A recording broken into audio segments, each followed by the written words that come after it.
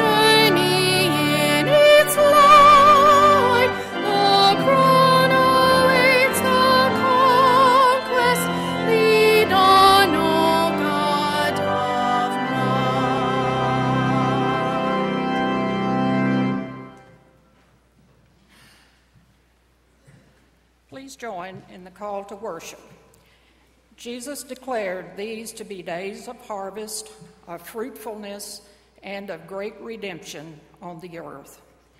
Jesus said that there are more blessings to collect than there are laborers, and he prayed that more harvesters would be sent out.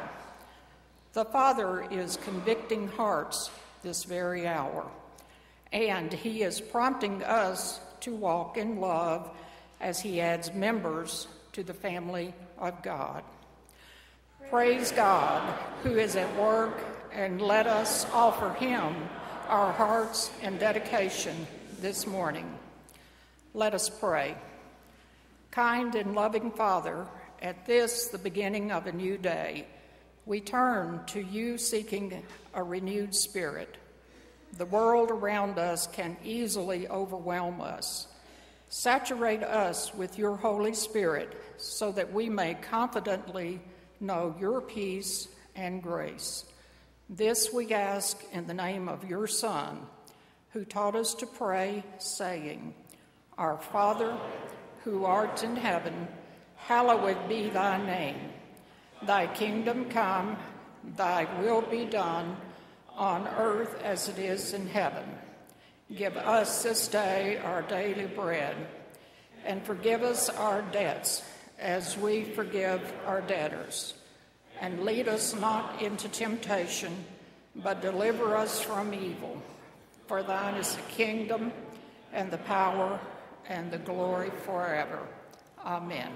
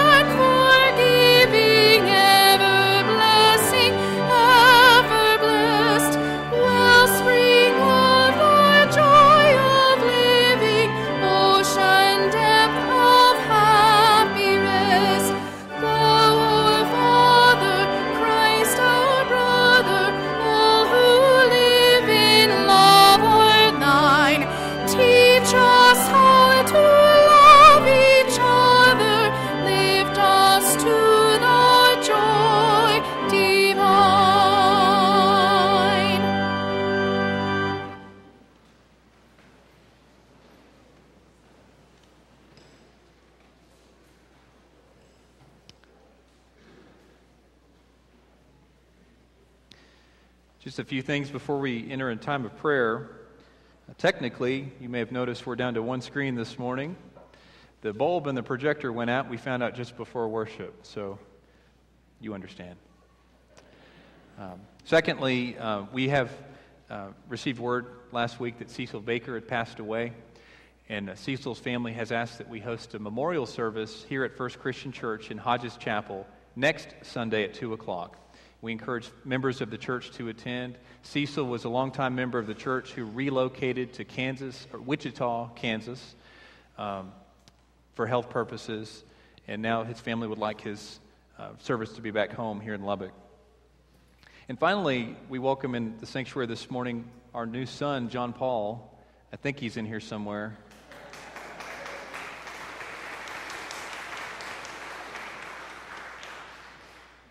And I mentioned uh, the Sunday after he was born that, that there were some miraculous things that had occurred. Some of you are from the medical field and would appreciate this uh, probably even more than I do. But uh, when John Paul was born, we learned after the fact that the placenta had not formed correctly, uh, was split in two, and the umbilical cord wasn't quite attached all the way. And that's how they eat. That's how babies and infants breathe. That's how they receive life. Um, and so the beauty was we received a nine pound baby, and then we found out the miracle. And so we're, we're still kind of shocked and praising God. Amen. Amen to God. That this, that this is another miracle. And so, as a pastor, I'm here to testify what God has done in my life, in my family. And and Valerie and I both knew intuitively, more than the other two, that we were to, to there was something weird going on, but God kept telling us not to worry. It was His to worry with. So uh, it's a strange emotion we had for about nine months, and we now see why. Uh, I'm sure there are many miracles that are happening every day, and we praise God that He's still active, He's still intervening. Let's go to that God in prayer. The Lord be with you. Let us pray.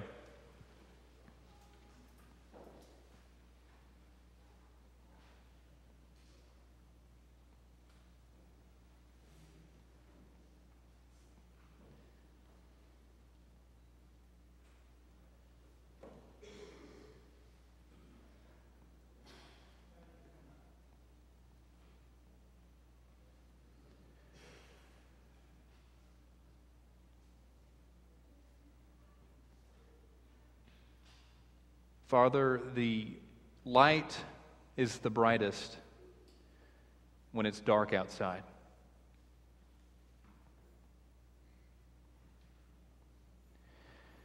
And your kingdom is the most evident in places where it hasn't been seen in a while.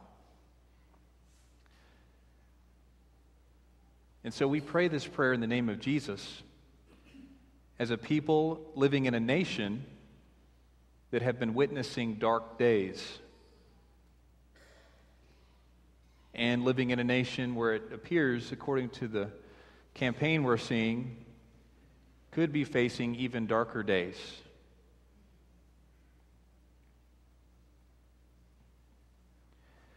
Our faith tells us to not put our hope in the war horses or the governments or the think tanks of this land, but place our hope in the Lord Jesus Christ alone, whose kingdom is guaranteed, prepaid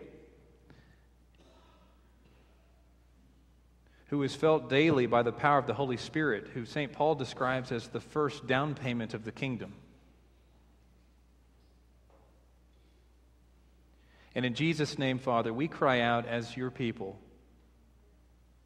who expect you and who long for you, who have a growing and daily burning desire for you, who have a growing esteem for your Son Jesus and his work who have a heart of a repentance and who are hungry, Father, for truth, who seek to share the good news, not of a country or of a political party, but the good news of the coming kingdom of Jesus Christ.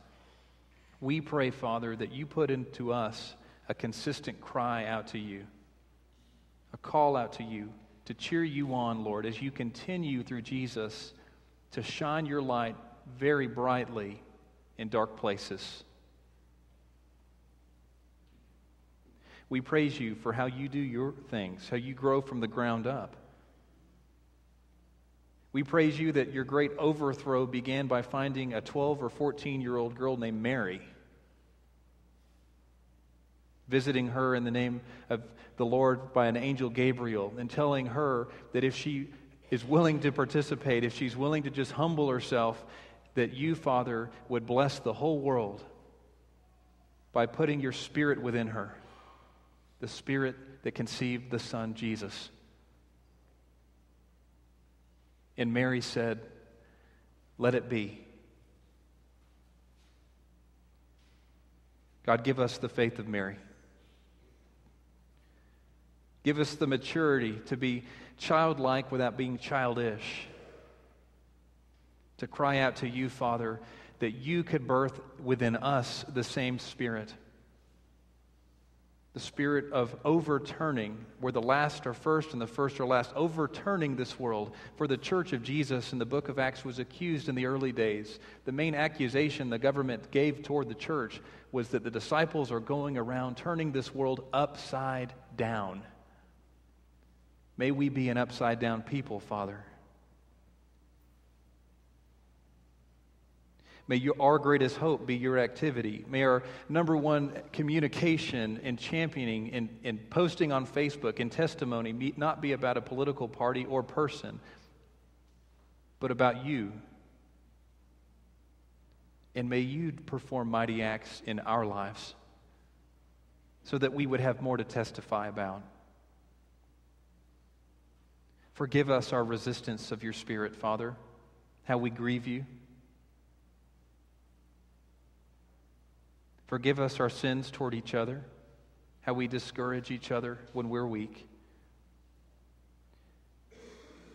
Remove those from us and fill us once again with the Holy Spirit in the name of Jesus. That we would be your church, that we would be your people, and you would continue to be our God and our shepherd. Feed and keep your, your sheep safe, we pray, and use us to reflect your glory in this land. We pray this prayer in the name of Jesus Christ, your precious Son, and our holy Savior. Amen.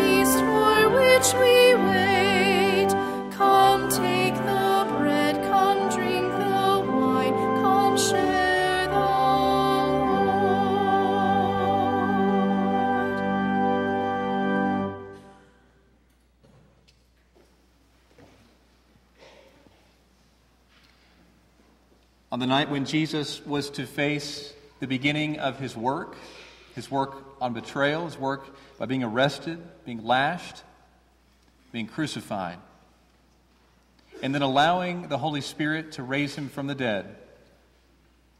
The night before all of this began, he took his church, his disciples, into an upper room to celebrate this meal. And he told us to remember him in this way. Jesus took a loaf of bread. He praised God the Father for it. He blessed it. He broke it, saying, This is my body, which has been given for you. Take and eat of it, all of you.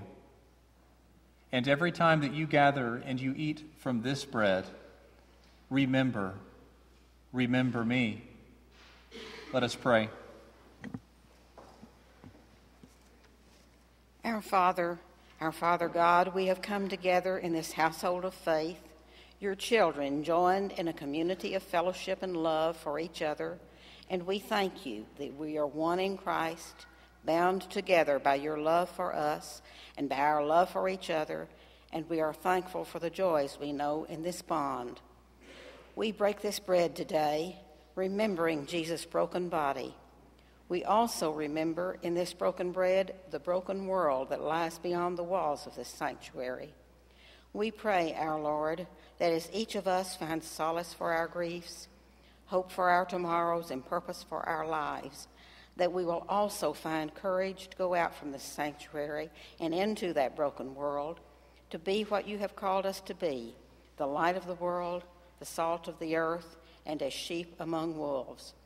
Grant us wisdom, grant us courage for the living of these days, we pray, Almighty God. Amen. Amen.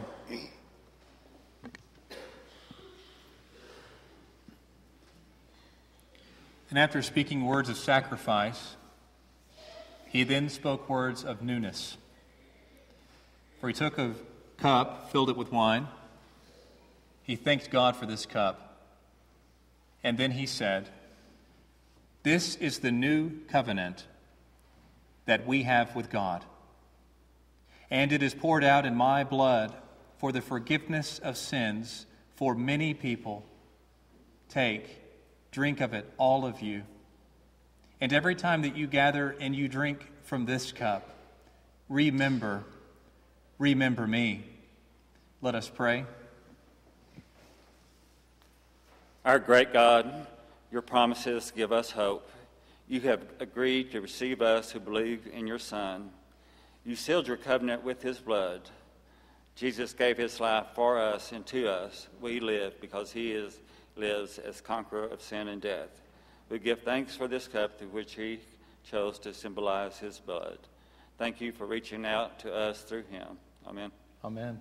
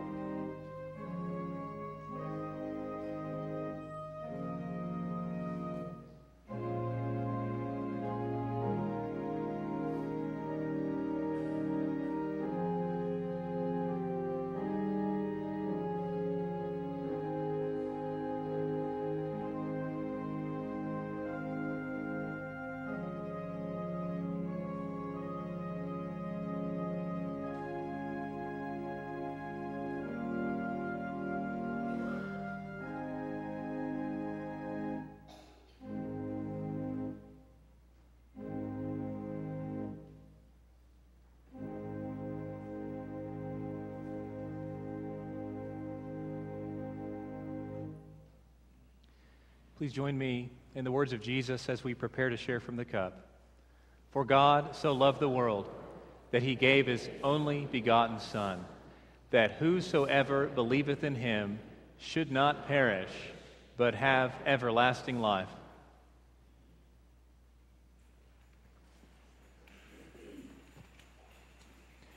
We will now collect our tithes and offerings.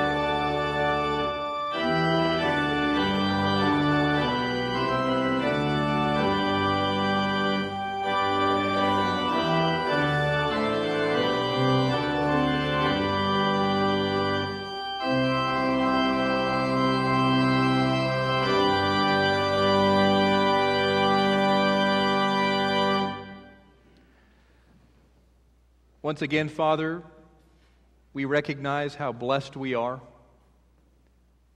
and how provision for you seems to be quite easy. We recognize that all of our blessings come from you, including finances. And as we return this portion back to you, we ask, Father, that you leaven the whole batch.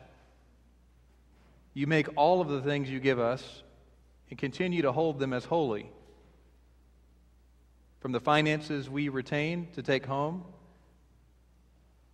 from our relationships, our talents, our time, we pray, Lord, we would never forget that they are on loan and that we would use our time and our marriages, our health, our wealth under your glorification. Lead us and teach us. Call out our name. Show us what to do with your things. And take these specific gifts that we return to you, we pray, and use them to minister, to spread the gospel, to empower your church, and to seek out the lost and the needy. Bless these gifts as you bless your church. We pray in Jesus' name. Amen. Please be seated, and the children are invited forward.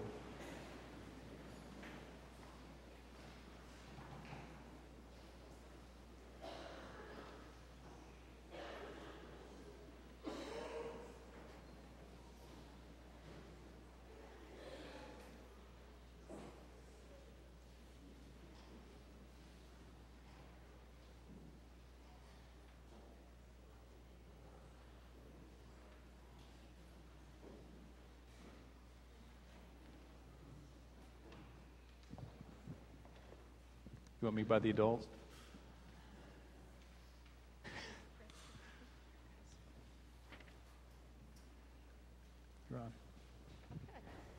Uh, kids, y'all are getting a first row look at our acolytes, and this will be a ministry that y'all can get in when you're in third grade. As, as all of you know, our acolytes bring in the light every Sunday representing Jesus Christ. And then at the end, they take the light out, representing the congregation going out into the world. We first want to recognize our outgoing acolytes. We thank these sixth and seventh graders for their very dedicated service the past many years with a certificate and a gift of appreciation. Dana Duty.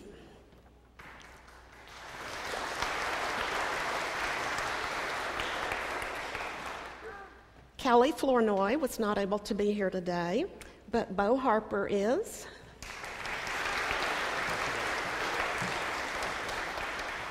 Colby Matzner. Jake Trevi. And Elise Vinson was not able to be here. We also had two seventh graders who um, I guess didn't like the word outgoing because they stayed for another year. So uh, Brentley Williams was not able to be here today, but we thank Emma Cushman for serving an additional year. This group has been very faithful the past many years. They've mentored to our new ones, and we now challenge them to um, move forward with other service to our church. And if y'all will just be seated right over here by Angie again. And next we have our new 10 acolytes.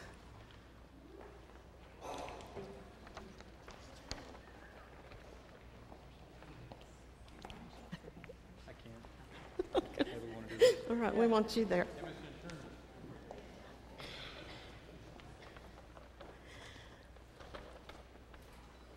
These are third and fourth graders, and they have just completed four weeks of training. Emerson Becker.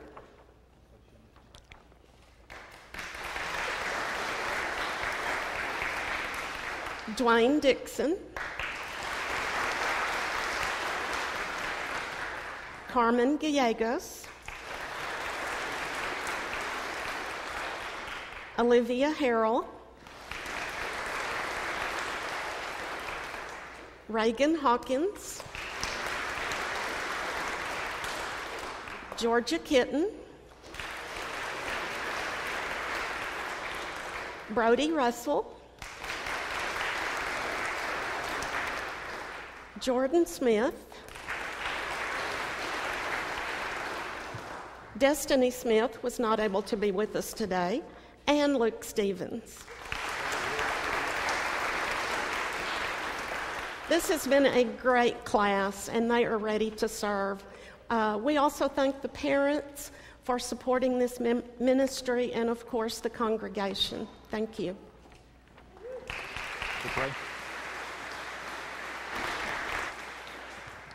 We could all put a finger in the air and close our eyes. We'll pray. Repeat after me, please.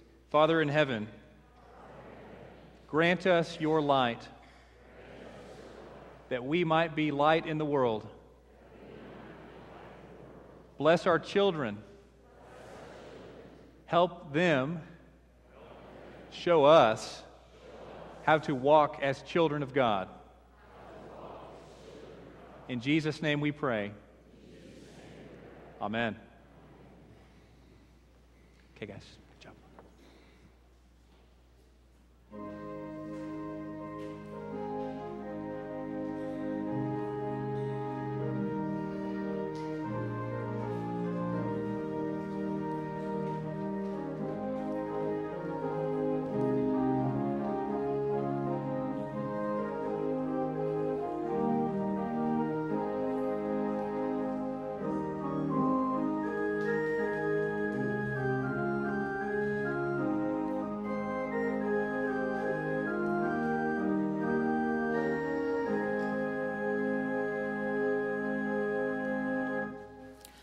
The scripture reading this morning comes from Romans chapter 1, verses 28 through 32. Furthermore, just as they did not think it worthwhile to retain the knowledge of God, so God gave them over to a depraved mind so that they do what ought not to be done. They have become filled with every kind of wickedness, evil, greed, and depravity. They are full of envy, murder, strife, deceit, and malice. They are gossips, slanderers, God haters, insolent, arrogant, and boastful. They invent ways of doing evil. They disobey their parents. They have no understanding, no fidelity, no love, no mercy. Although they know God's righteous decree that those who do such things deserve death, they not only continue to do these very things, but also approve of those who practice them. The word of the Lord.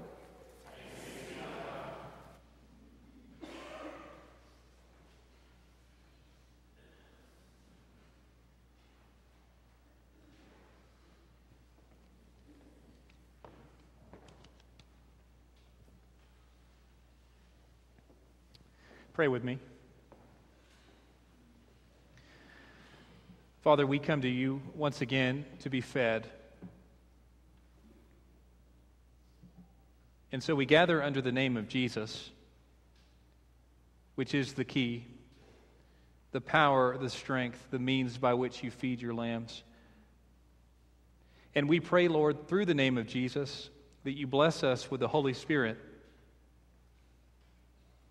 we pray that you pour into me the gift of preaching and continue to pour into our fellowship, our congregation, a desire to hear from you. May our hearts jump when we sense you speaking directly to us. And may our lives obey as a reflection of our gratitude and faithfulness to you. Bless and keep us, we pray. And may you allow the preaching of the gospel to take place in this area, in this room today. We pray in Jesus' name. Amen.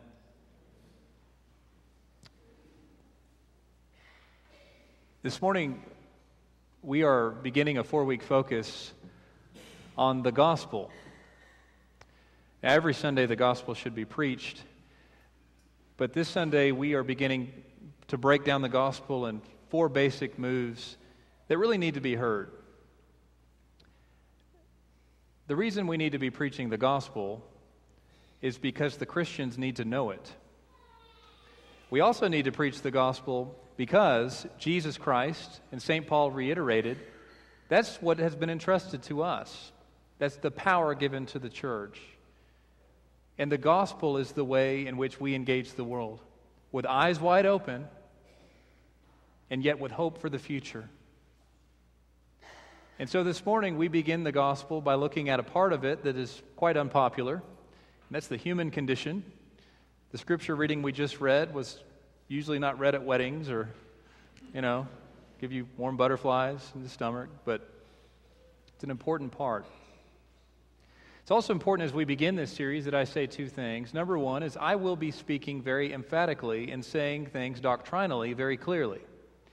And in the disciples of Christ, we don't have a unifying doctrine outside of our six essentials. What that means is there will be some people in this room that do not, hold your breath, agree with what's being preached. That's okay. I'm the preacher and I have to preach what God's put on my heart. And the doctrine that we will be preaching, it's okay if you disagree with it, but I'm liable for whether or not I preach the gospel.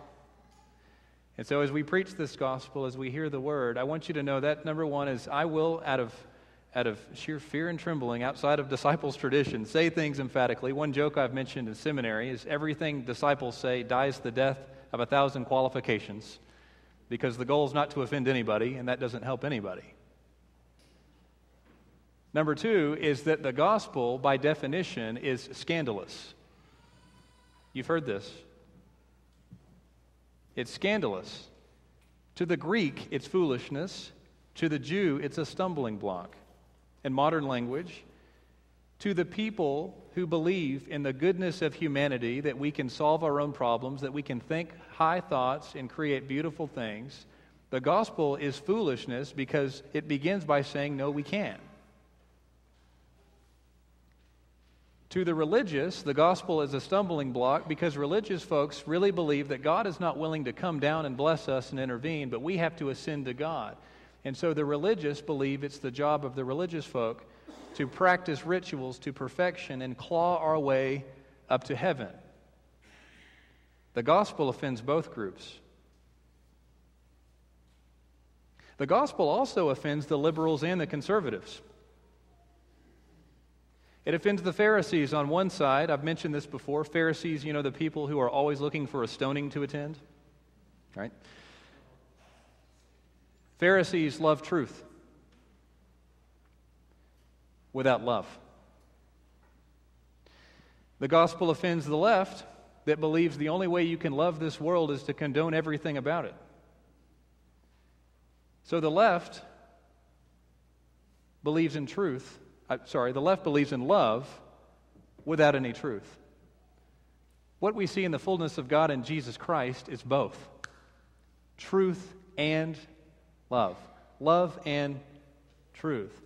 And so the gospel will be scandalous to that part of all of us that believes that human beings can solve our own problems, and to that part of us that says that we have to love everyone and tolerate everything. If we give into that, we won't be preaching the gospel. Now, real quick, when we're talking about the gospel for this sermon series, it's the good news specifically having to do with the human species, us. The full gospel is actually the good news that God's going to recreate the heavens and the earth, and it has to do with every part of creatures. We got any golden retriever fans out there? I'm a nature guy. I'm a St. Francis of Assisi guy. I love going for a walk. I love the birdies in the air. God loves them too.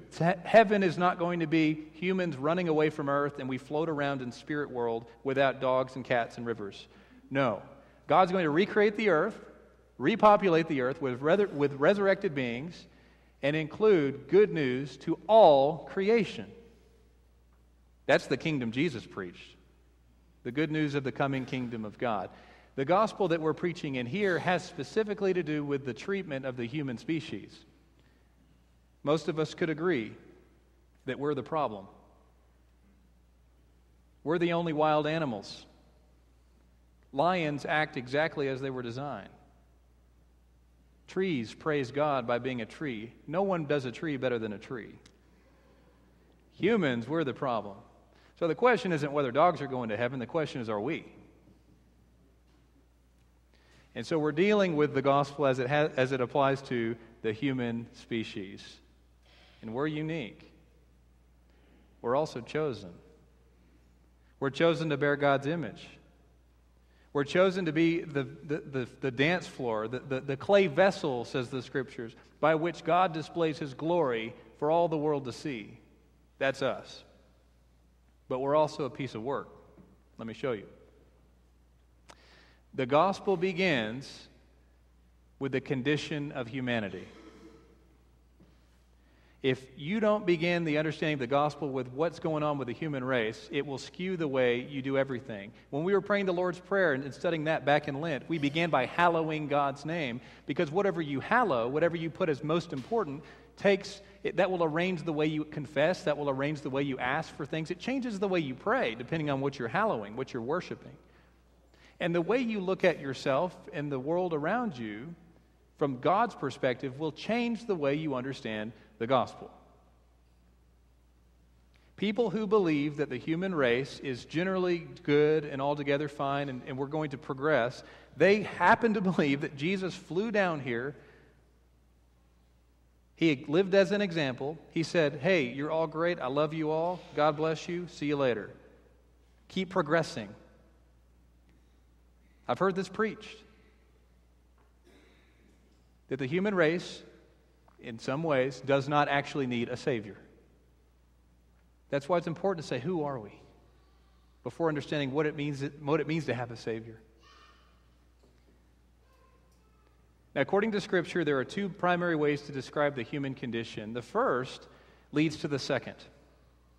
The first says that the human being, at some point, and the some point question doesn't help anywhere, figure out when and where, but where we are today, is that the human being has become a rebellious species. A rebellious species. Sin, according to Scripture, if you look it up in Greek, is actually disobedience, willful disobedience. So we're rebellious, we're disobedient. That's the human spot. We're going to talk about a progression here in just a moment that's described in Romans 1 but the rebelliousness that we've lived in, we've lived in it for so long that we think we're right. You understand that ISIS thinks they're right, right? One man's terrorist is another man's freedom fighter, okay? Our rebellion has gone so far that we think we're fine. We've systematized it, we've, we've sophisticated it, we've made it look good. And so the first part is that the human being has become, at some point, a rebellious species, which leads to the second point. When we've normalized it, we've also become utterly blind and lost. The song Amazing Grace, we become blind and lost. Now, the gospel is that God somehow shows pity on us in our blindness and our lostness, but it's not a blindness or lostness that just happened one day. It's not a woe is me. We chose it. We normalized it. Now, there's a concept we'll be preaching in this sermon called giving over. Because in Romans, three times scriptures teach that God gave them over, which goes in direct conflict with Psalm 139, which I had no idea y'all were singing today. It's just kind of cool. God, according to scripture, gives them over, but hear this God will not forsake you. There's a big distinction. God won't forsake you in that God won't leave you. But to give over, as we'll see in Scripture, God allows you to run after the very thing you're desiring, and He quits intervening. He's the dad that finally says, Fine, son, take your inheritance, go. I'm not intervening. I won't forsake you, I'm always here but I'm not going to stop you from making bad decisions. So there's a difference between giving over and forsaking, because God is with us at the other end of the sea, down in Hades. Everywhere we go, God is with us, according to Psalm 139. Now, three things happened according to Romans chapter 1 that had to do with the phrase God gave them over. We're going to break down each one. According to Scripture, The human being, at some point, began, according to Scripture, uh, what's the phrase? Uh, it's a problem with memorization, right? The human being began to have uh, sinful desires. And in Greek, the word desires means life focuses. We hallowed something else. Okay? It may have been our career, it may have been our own glory, it may not have been something awful. In fact, some of the, some of the worst sins begin as virtues. You know, I was only trying to, right?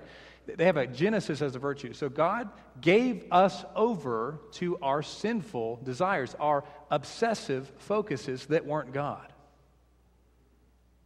So for a time, apparently, the human eye would wander, would look at something, would look at an idea. We would want to build a Tower of Babel or do something like that. And God said, no, no, no, no, no. And He would confound our speech or He would intervene. But at one point, God finally says, hey, go for it. Now, there's a mini sermon right here about prosperity because just because you get what you want doesn't mean you're blessed. See that? Just because you get the very thing you've always wanted in life doesn't mean you're blessed, according to this teaching, because some people who have been obsessing over a career or over money or over a relationship or something, they finally get what they want and they say, God has finally blessed me. But then you have to ask the question Has God, while not forsaking me, has He finally just said, Fine, you go and get that thing? You'll be back later. Because you'll realize that money's not going to make you happy. That a career, that a vocation, that a 4.0, that won't actually make you happy. I'll give you over to that, to your shameful focus in life because you've taken your eyes off of me. That's why the prosperity gospel doesn't work. The second step is the second giving over. According to Scripture, God then gave over the individuals and then the species of the humans to lustful, uh, to shameful lusts. To shameful lusts. So the first is sinful desires, sinful focus. Next is shameful lust. Lust in Greek doesn't mean sexual lust necessarily, it means overwhelming internalized emotion. If the thing that you're focused on, or if I'm focused on, is the stock market, or in someone's confessional moment, the Texas A&M football game that should have not anywhere have taken that to two overtimes, seven turnovers, gosh. What you'll notice, what you'll notice is your emotions and your being is tied to the welfare of the thing you're hallowing. So, as the stock market goes, so you go. Or the country goes, there you go. See? We become emotionally invested, and friends, when your emotions take over, your emotions start to preach a false reality. They start to tell us we trust our emotions more than we think. You could argue that one of the biggest ways we're deceived is with having false emotions injected into us. A wife one day just thinks, My husband, I don't like him, he's a jerk. And they just feel like, oh, how about you ask some questions about that? Is your husband a jerk, or do you just feel that way today? Right? So the first thing is you're focused on the wrong thing as a species. The next thing is that we become emotionally tied to the thing we've been focusing on because God said, okay, I'll give you over to it. You've always wanted it more than me. And then the third, this is where we are today. It's what we read today. God finally gave us over to a debased mind. Now, mind in Greek is plural, it's communal.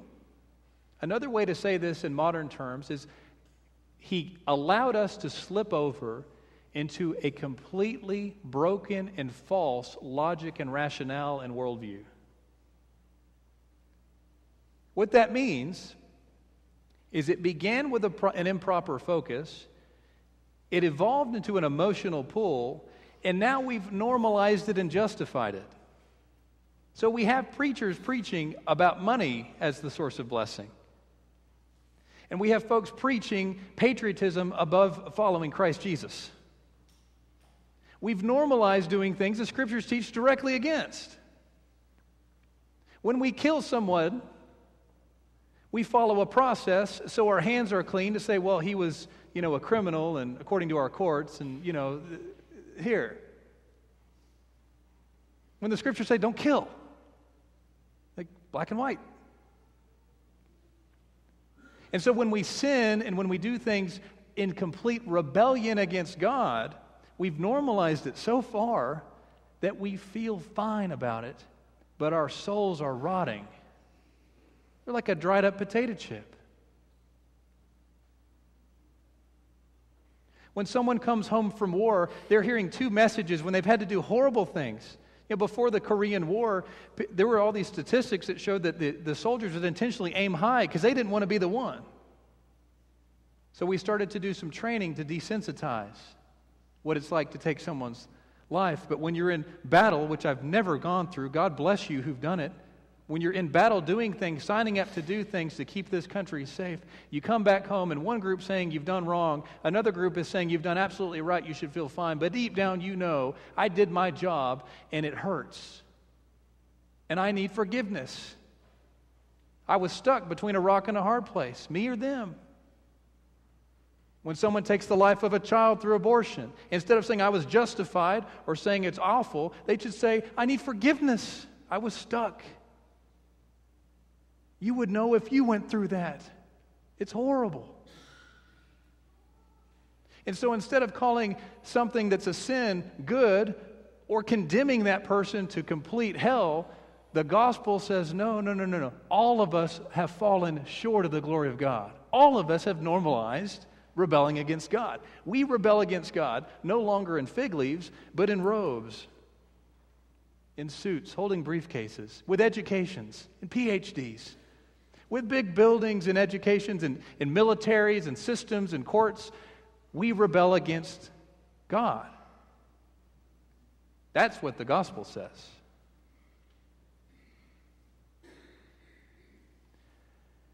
And here's why it's the gospel. the evolution of this has gone so far until, according to Scripture, at the perfect time, when no one was calling out to God, when everyone was asleep at the wheel. Sounds like our country. When everyone had normalized, well, I guess this is what life's like when no one knew what righteousness even looked like anymore, let alone wanted it. That, when we were gone, helpless, light is out, we are fully gone. That's when God sent Jesus. Not because we asked for them,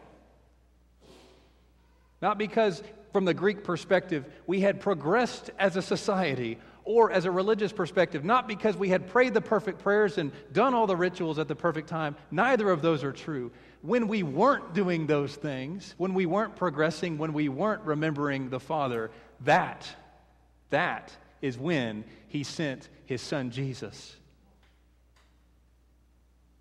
When God allowed us to experience what free will really looks like rampant, everyone talks about, oh, you're leaving out free will, preacher.